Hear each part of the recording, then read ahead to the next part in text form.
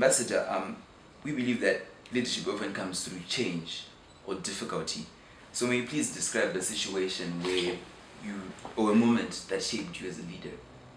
I actually completely agree uh, with uh, that, uh, that sentiment. It's something that uh, our former president, uh, Bill Clinton, described uh, about himself. Bill Clinton, um, I remember very clearly articulated, actually he said this when he was here in South Africa back in 2005. He, he talked about some difficulties that he was having in his own journey, and he said that um, it was always in, in moments of absolute turbulence that he learned the most about himself uh, and uh, discovered uh, his capacity. So I agree with the sense that uh, leadership comes out of difficult moments. I can tell you uh, for myself that um, uh, one of the moments in my life where I appreciated what it means to stand up, to find one's voice, and to um, help to pave the way for others was when I was very young. Uh, and my father uh, at the time was um, uh, working several jobs. He was an immigrant in, in New York, and when you're an immigrant in New York, you work several jobs.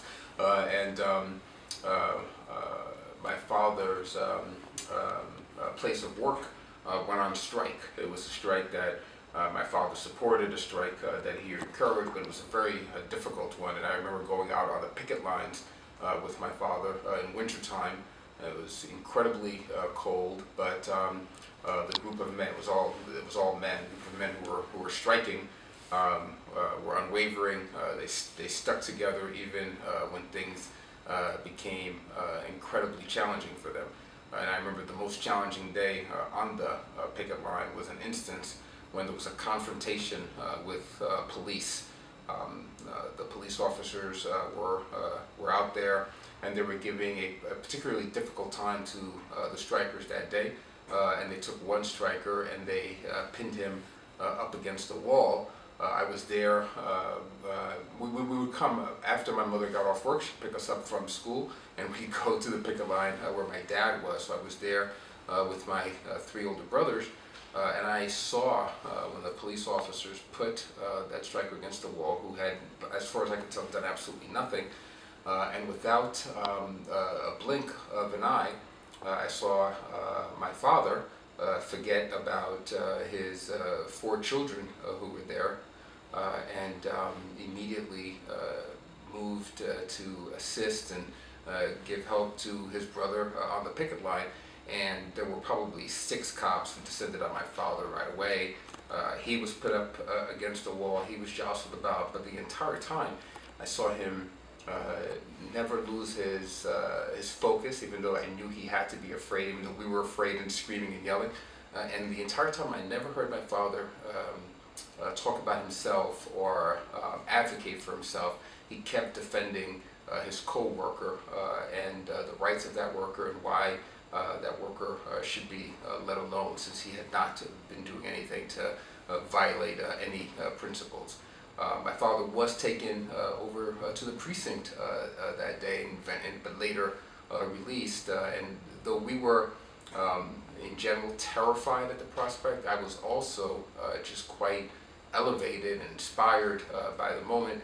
and I recognized right then and there that um, leadership uh, is not about um, uh, being a peacock, uh, but leadership is instead about um, being selfless uh, and reducing your own ego in, in, for a greater cause. So uh, that one moment uh, always for me um, uh, serves as my uh, definition of leadership. It's a moment when I was probably more scared than I've ever uh, been in my life, but it's also what was a turning point for me, helping me to recognize that um, when times are the most difficult is when you've got to dig in and step forward on behalf of others. So, Ambassador, besides um, difficulties like those, like the one you just mentioned right now, um, leadership can also come through learning and practice. Mm-hmm. So, um, which habits have you practiced or do you continue to practice that help you grow in your own leadership journey?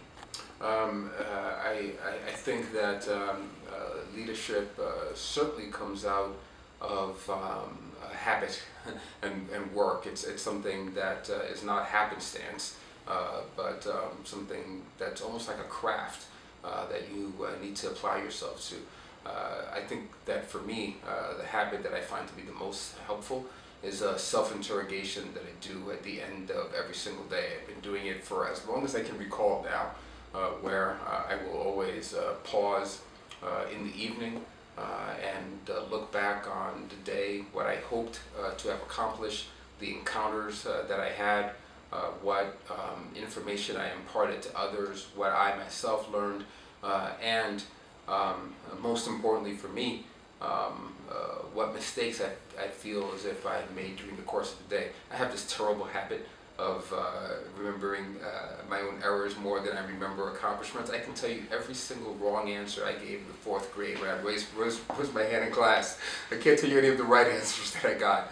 Um, so at the end of every day, I'm always going back uh, and, and, reflecting on uh, what I think I could have done better. So it's a kind of constant self-interrogation. Uh, that uh, is my habit and something that I find works for me. Uh, and I find that when I um, do that, it gives me the spark that I need to start the next day with a much more forward-looking um, stance. So, Ambassador, since you have this um, terrible habit of remembering um, your faults, um, can you describe moments in life where you tried something and you failed, and um, the possible lessons that you learned from those experiences of failing? You see, moments when I tried something and failed. It's a good thing my wife isn't here. She could give you 500 of those examples. I, I, I, think that um, uh, I've always learned uh, the most uh, through, uh, through failure. I was having a conversation with uh, some of my colleagues just yesterday morning, uh, and I was talking about where I was a decade ago. I was in the, I, I have a lot of experience in electoral politics and I was giving uh, my colleagues an example of an instance where I was at uh, my greatest uh, moment of dismay, and I remember being in a in a corner in a room uh, with my hands uh, cupped uh, around my head because it was clear to me that um, a great mistake had been made, and and my campaign was on the verge of failure. But when I was reflecting on it with my colleagues, I appreciated that uh, that moment of failure informed uh, so much success uh, that came later, and I have no regret uh, over um, uh, that moment where things didn't go quite right. But I have to tell you that um, there are so many instances in my journey where I challenged myself, where I pushed the envelope a little bit, where I got out of my comfort zone, and as a result of that, grew as a person. I, I remember uh, Uh, back in 1997, uh, uh, I took on uh, a job uh, that I knew I wasn't qualified for yet, that I didn't have the experience for as of yet. I knew that it was a tremendous stretch for me, and I also knew, despite the uh, the confidence that I was exuding when I um, uh, interviewed for the position, I knew uh, that there would be many errors along the way. Uh, but I um, also knew that I had to do this in order uh, to um, get to the next uh, iteration of myself, the, the next level of expectation uh, that I had for myself. And true enough, I took on uh, the task and um, failed pretty uh, royally. but um, again, it was a, a moment where irrespective of the overall failure of that particular mission, um, I had moments where um, I, I realized my full self. I remember uh, one day, I, I, was, I was the youngest person uh, in this enterprise, and I remember one day um, uh, finding myself uh, in a room uh, with about 40 people who were all probably twice uh, my age, and I heard this voice. I heard somebody speaking to these people, and then I realized that it was me, and that I was actually giving them um, uh, the directives uh, that they would go uh, and, and, and, carry out. and I knew right then and there, on that day in 1997, um, that I was becoming someone else. so I, I embraced that failure heartily. Um, so Ambassador Gaspard, at ALA, for example, and with most leaders or institutions, they always hold a certain set of values that often guide their decisions and actions in life. So what core values do you hold that have helped you in life? making decisions and actions? You know, um, I think that uh, uh, for me, um, uh, the values uh, that have uh, guided um, my public decisions and my internal compass. Um, I, I learned all of them when I was in um, Sunday school as a child. And I remember the, my first moment of, of really being politicized Uh, was when I heard the Sermon on the Mount uh, and when I learned uh, the Beatitudes. and um, that kind of, at the, at, the, moment when I was very young, became a, a guiding uh, philosophy uh, for me uh, that continues to be my, my touchstone. Um, there's something about that lesson that imparts a certain humility.